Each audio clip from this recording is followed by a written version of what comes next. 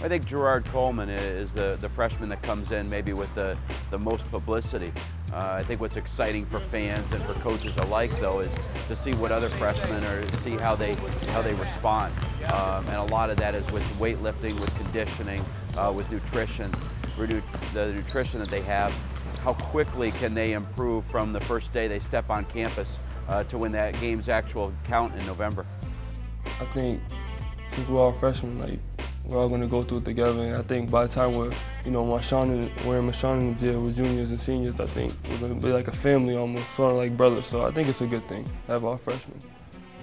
Workouts is tough, you know, weightlifting especially. I mean, I, used, I lifted back in high school, but not nearly as hard. So, and workouts, you know, I just trying to learn because these guys been through it. You know, I'm just a freshman learner, so I'm, I'm just trying to pick up what they tell me. Ball. Lyle's gone already. I just want you to sprint over here like I'm coming to this block. And now every once in a while now, you get all the way into the middle of the lane. Now, now come back here and call for the ball and look for it here and take it to the basket. Okay, here we go. I think with, uh, with Bryce Cotton, it's a very unique situation to be able to get a player of his caliber as late as it was in the recruiting process. Um, most schools had looked at him as being somebody that didn't have enough core classes, was, was very good in his grade point average and his test score, um, but didn't think he qualified. And uh, we were fortunate to be able to have a scholarship uh, when we realized this. So as he comes in, we're looking for him to be a, have an immediate impact to our team.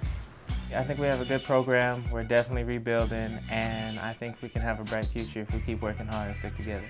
We have a lot more talent, and now we just need chemistry to piece it together. And again, we have time to develop and rebuild. I think we need to work on our, our just our leadership in, in together and our work ethic. We need to be able to work hard when coach isn't calling practice and do, doing stuff on our own time and get better. Make strong moves. We don't throw it to the post or we don't talk on defense.